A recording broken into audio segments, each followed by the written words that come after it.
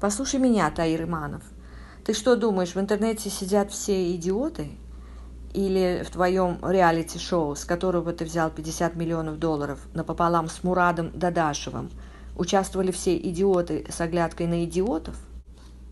Или в 1975 году Юлий Гусман, повесив на сцене портрет Адыля Меликосланова, сделал то же самое в 1995 году и, повторив через 15 лет снова в 2010, повесив тот же самый портрет Адыля Меликосланова, принимал всех за идиотов, сказав, что это он молодости, и снова все идиоты –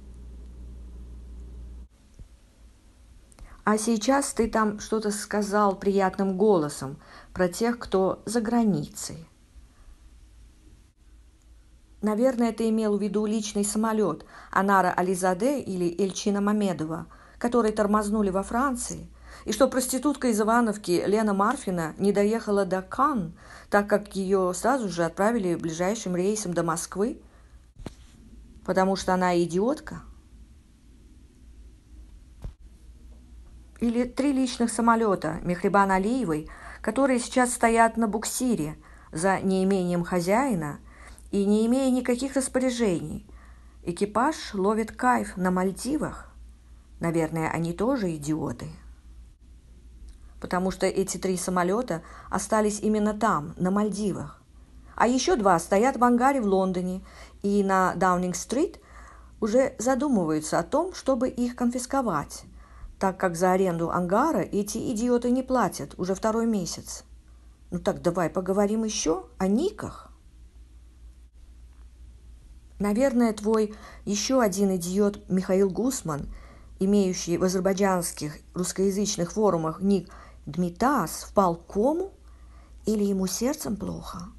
После того, как их план с Сергеем Лавровым привести его в Баку и поставить главой республики, губернии, в понимании Лаврова как личной вотчины, разбился в пух и в прах после появления многотысячного турецкого контингента, состоящего из лучших натовских офицеров, военных, а ведь на подходе еще натовские адмиралы и их экипажи с кораблями, пришвартовавшиеся в Черном море, от которого до Баку рукой подать. И не забывай, что Каспий имеет достаточно много места в пределах границы Азербайджана, чтобы разместить эти корабли возле нашей столицы, которую собираются оккупировать самозванцы со знаком чужой армии на кителе. Таир Иманов забыл еще про один ник, который тщательно скрывает его владельца, от страха сейчас испытывающего ночные кошмары и крики во сне. Бакилы – на сайте Калантарова-Лаврова, Ровшана Аскерова, Эжихана. То есть, опять же, напоминаю, кто скрывает свое имя, а кто нет. Бакилы Эльнур Баимов, хам и наглец, позволяющий себе все, любые ругательства и клише в отношении юзеров-азербайджанцев. Ему можно, наверное. Потому что Ровшан Аскеров – племянник Айдына Ибрагимова – а того крышевала и крышует власть, де юре, присутствующая в Азербайджане.